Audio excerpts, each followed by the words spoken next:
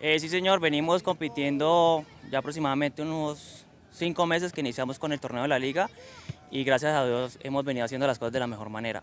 Sí, eh, hace ocho días, hace 15 días, perdón, jugamos de visitante, tuvimos un marcador de 7 a 1, entonces la idea era pues tener la, la pelota para que no nos costara desde un principio. Sí, sí señor, obviamente seguir trabajando, queda seguir trabajando, eh, implementándole la idea de juego a los niños y poder salir campeón a nivel departamental.